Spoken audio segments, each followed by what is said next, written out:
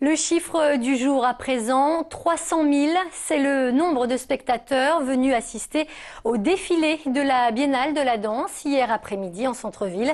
Une parade haute en couleurs, imaginée pour la première fois par la chorégraphe Dominique Hervieux. Une grande fête populaire surtout qui s'est terminée par la désormais traditionnelle tarentelle, place Bellecour. Félix Tomen.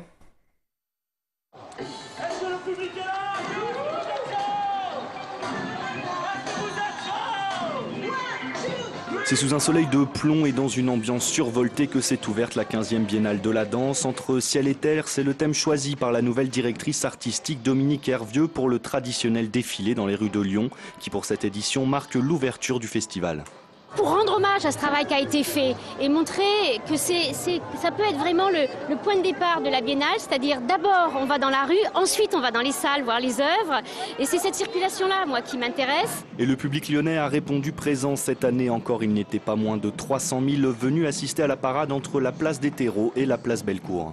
Avec un soleil comme ça en rentrant de vacances, c'est parfait quoi. Parce que la vie comme ça à Lyon, on en a besoin, vraiment.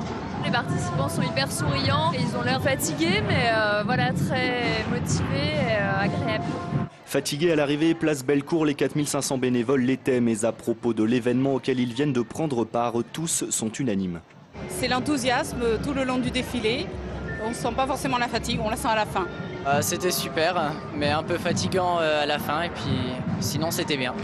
La 15e biennale de la danse, c'est du jeudi 13 au dimanche 30 septembre.